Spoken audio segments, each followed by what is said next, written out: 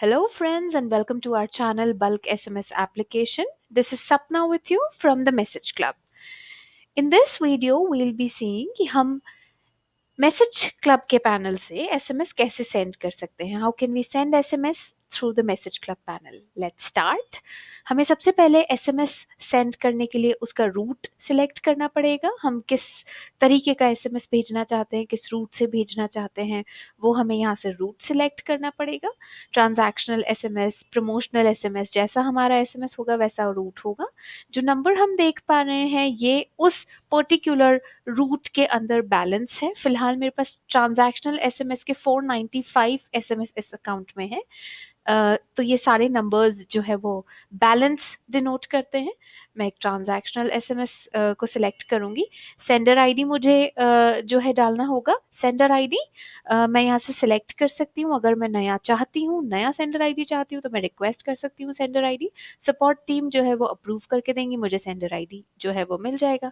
अब मुझे mobile number यहाँ पर फ़ीड इन करना होगा।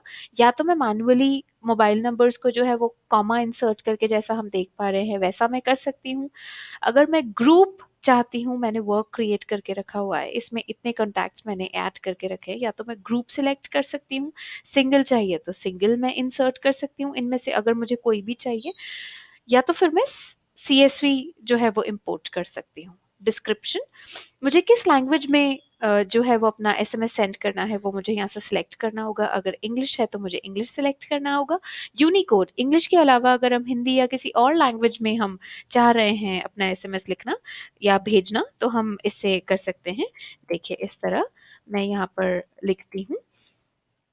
हेलो मैं जैसे कन्वर्ट करती हूँ ये हिंदी में टर्न हो जाएगा। इस तरह से मैं अपना पूरा एसएमएस जो है वो यहाँ पर लिख सकती हूँ, हिंदी लैंग्वेज में या किसी और लैंग्वेज में भी चाहूँ तो।